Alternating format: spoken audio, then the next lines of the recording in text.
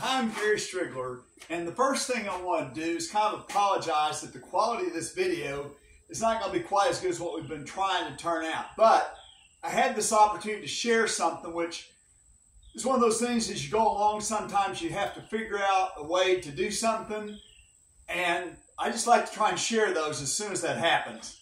So this is a Murphy bed and some cabinet projects that I've been working on, and part of the challenge of the project was I wanted to try to match some antique doors that were in the room.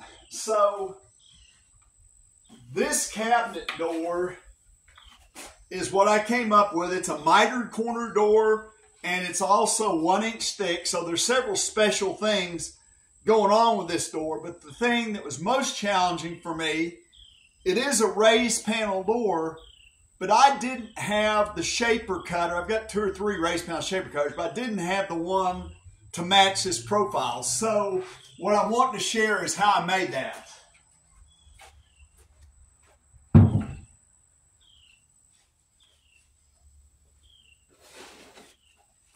So this is kind of your normal raised panel profile. This action material is a little bit thick. A lot of times instead of full three quarters, you use 11 16ths MDF for raised panels.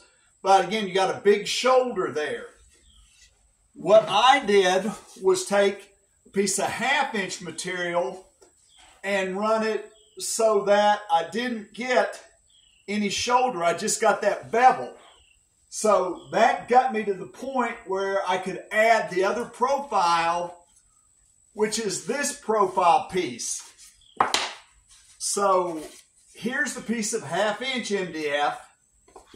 And I'm going to just roughly hold this. I came in about a quarter of an inch and I just took another piece of half inch MDF and used what I would call a classical bit. That is a router bit that has the uh, cove cut right next to the bearing. And that gave me a really good looking raised panel. And I guess the thing that I'm excited about this is you can make multiple different options of looking raised panels. You could, you know, change up the amount. Like right there, I've got about maybe a half inch of flat showing. You could obviously change up that profile too. So for me, I just wanted to share this is something that I kind of ran to a challenge and I figured out something that worked for me.